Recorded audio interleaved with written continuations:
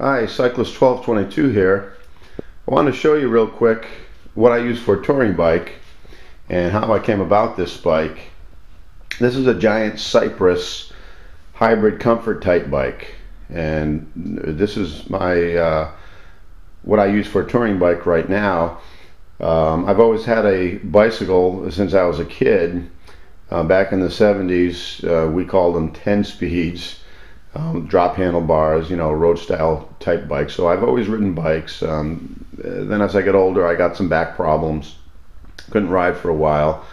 I just recently, a couple years ago, jumped on my wife's uh, old mountain bike, rode around the cul-de-sac, rode around uh, the neighborhood a little bit. Um, then I went to my local bike shop and found this one.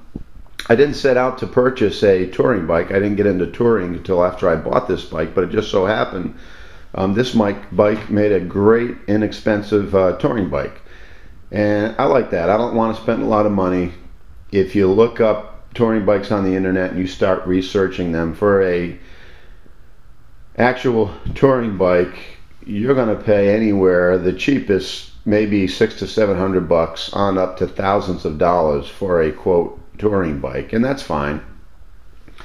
Um, but you know, I don't want to spend a lot of money on on things like that, and I love finding great deals, and this was a great deal. Um, this was a leftover. My bike shop had it on clearance for 300 bucks. Great deal. It was a regular 380, I think. Um, didn't know I was going to use it for touring. Didn't know it would make a decent touring bike, but it does. Um, I'll tell you quickly some of the differences. Excuse me. A touring bike traditionally is steel. Um, it has drop bars on it. Um, maybe a little bit faster than this bike. 700C wheels. This bike has 700C wheels, which I like, which is good. Um, you know, touring bike may be a little bit uh, beefier than this. Um, I don't like to lean down when I'm riding. I don't like to just look at the the road. I like to look out. I like to see the scenery. I like to have fun. I'm not racing. Um, I want to have a good time. I want to see the sights. So a comfort type hybrid bike, similar to a mountain bike, gives you a more upright position. Whereas a traditional touring bike, you're going to be bent down. Not as much as a road racing bike, but the drop bars are going to have you bent down a little bit. Um, drop bars are great.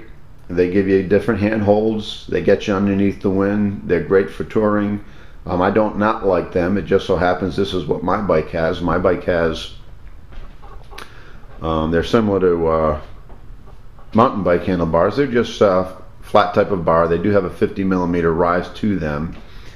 Um, as you can see, the stem is adjustable. On most hybrid um, comfort type bikes, you are you're going you're going to get an adjustable stem. Just get your Allen wrench out there. So if I was going into the wind for any amount of time, I could stop um, and lower my handlebars, and I, it'll be a little bit better to get under the wind.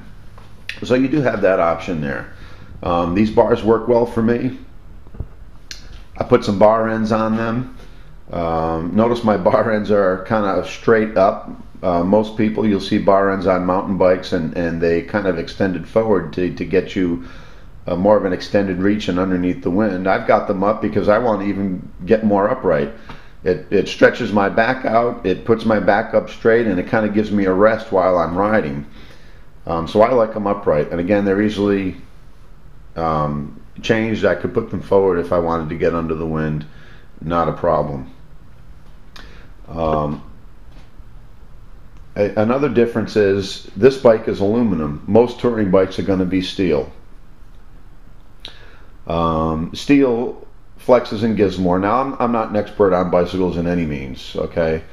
But uh, generally, steel will flex more. People like steel bikes for touring bikes because it gives you that suspension in the in the flex of the steel. This is aluminum. Aluminum stiffer. Um, another pe reason people like steel for touring, if you're touring all over the world and you're in remote areas, they say you can get steel um, welded and repaired. Aluminum is harder to do that. It's more of a skill to to um, uh, weld aluminum. Um, but I'm not doing that. Um, I'm here in the U.S.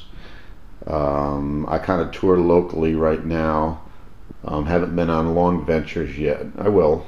Don't have the time right now.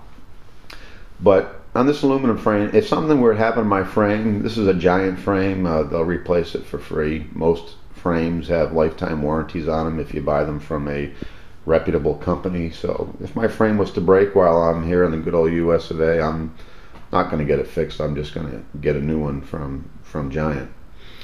Um, but if you are going to be remote, you're touring around the world, and that's going to be your life. You know, you probably would go for steel. So this is an aluminum frame.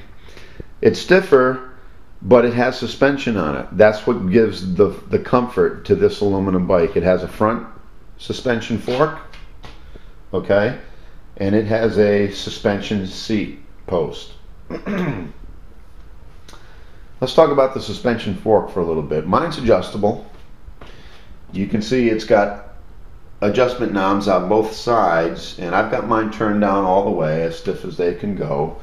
Um, it still suspends uh, quite fine, and it does give a nice, um, comfortable feeling to it.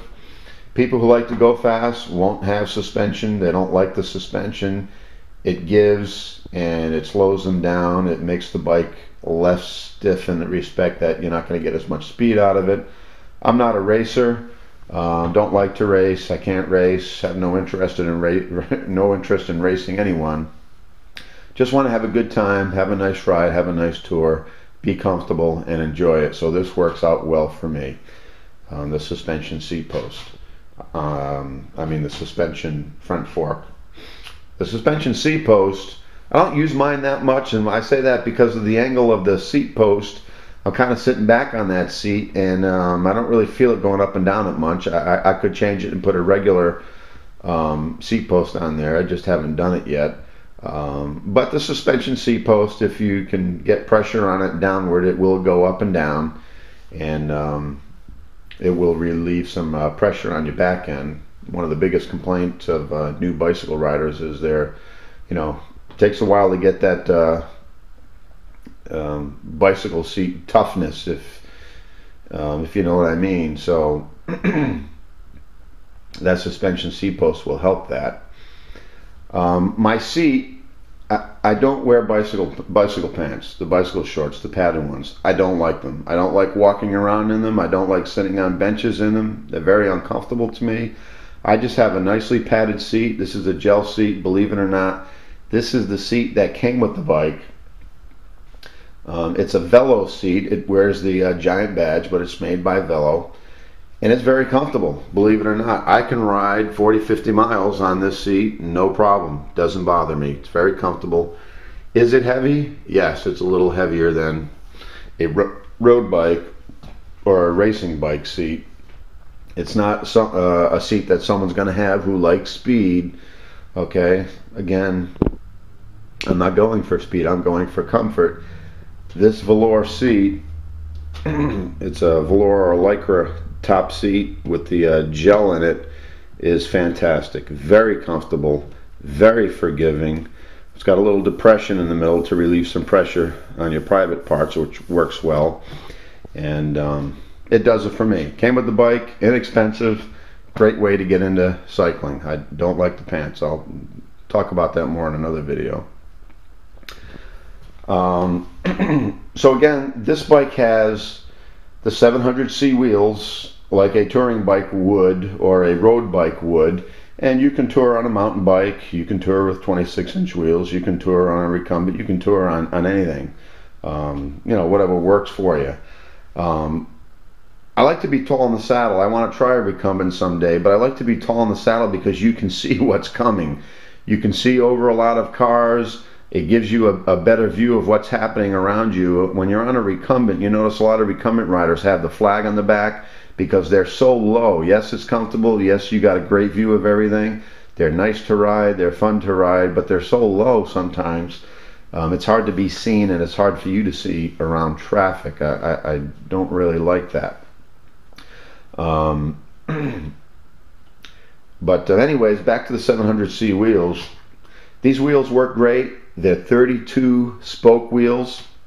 Most touring bikes will have 36 holes or more for strength. That makes sense. You're going to carry weight.